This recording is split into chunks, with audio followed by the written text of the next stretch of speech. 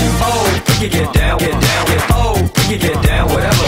Oh, we can get down, get down, get oh, we can get down, what?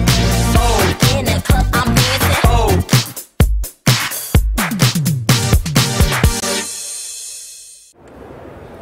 Welcome to the Detroit Motor Show 2010. I have here behind me in the mini stand probably the biggest attraction. It is the Concept Mini Beachcomber and it has a dad and its dad is here, Gert Hildebrand. Gert, congratulations. Talk us through this fantastic vehicle. Thank you, Jonas. Of course, the car was done uh, by my team, by the design team, and myself as a dad. Thank you. Yeah. Granddad. Yeah. And uh, uh, of course, of the whole mini team in, in Munich. Yes, you see here the Beachcomber co- uh, concept. It's a pre-communication vehicle for the upcoming crossover vehicle, which you will see in Geneva. The historical background is a Mini Moke, a complete open car from 1964. Yeah. And we took the clue of the openness and the playfulness of the Mini Moke into a modern time. Indeed, and what kind of um, innovative features does it have inside?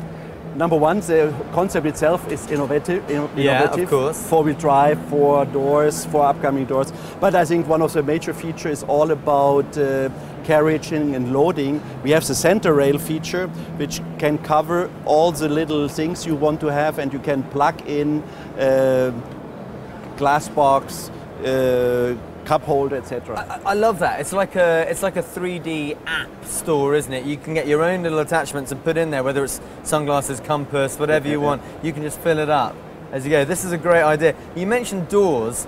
I mean, These presumably are, are to, waterproof it. Or, Of course, when you uh, show a car in this uh, type of openness, uh, the first question is what happens when it rains. Yeah. Of course, we have provided all sorts of uh, uh, canvas to clock it very easily, Yeah. and for the winter, you have even clip-in uh, hard parts uh, to make it winterproof. yeah, it's perfect for you and I because we won't, we won't mess up our hair uh, with the wind. Can I can I just quickly ask Yes. you about the back of the car? Yeah. Because this is great. I love this feature. So this uh, looks like it's where the spare wheel is kept, but it's not. So sh- talk us through it. Show us how it opens up. I think here you can uh, mount, uh, put all this wet stuff in when you do your marathon or your cycling.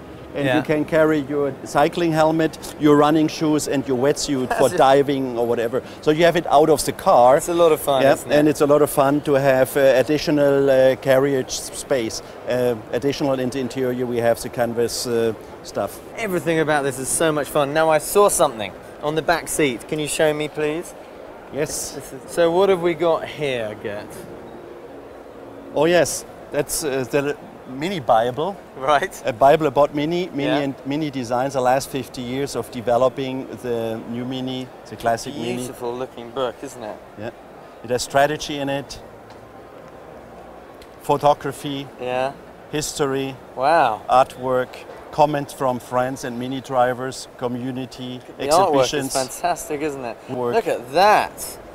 I think any every mini lover should have this on their coffee Really? table. Yes. And I'm a mini lover. And it oh, was Christmas, wasn't it? Two or three weeks ago. So, Gert, thank you so much. Thank you. Congratulations on the car. It's Yeah. wonderful. Thank Goodbye. you. Good, goodbye. Oh, we can get down, get down, get oh, we can get down, whatever. Oh, we can get down, get